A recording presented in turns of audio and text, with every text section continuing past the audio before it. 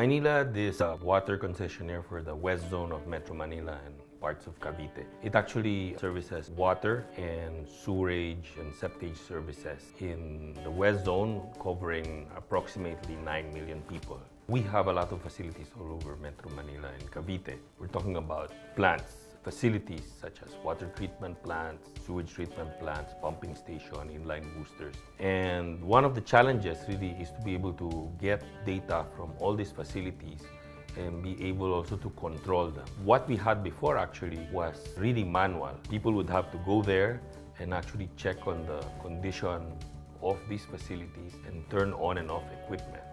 Today, we have this solution, PLDT Enterprise, we can do that seamlessly. All the data is coming in and we can control these facilities remotely from our head office.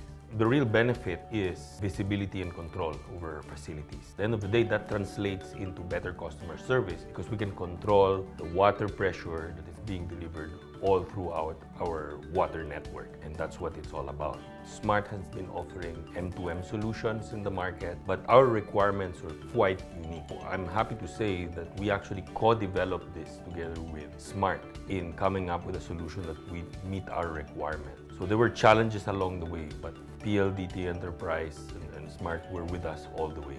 Technology improvement is never ending. We have to be abreast in all this so that we can cope with the ever higher demands of our customers.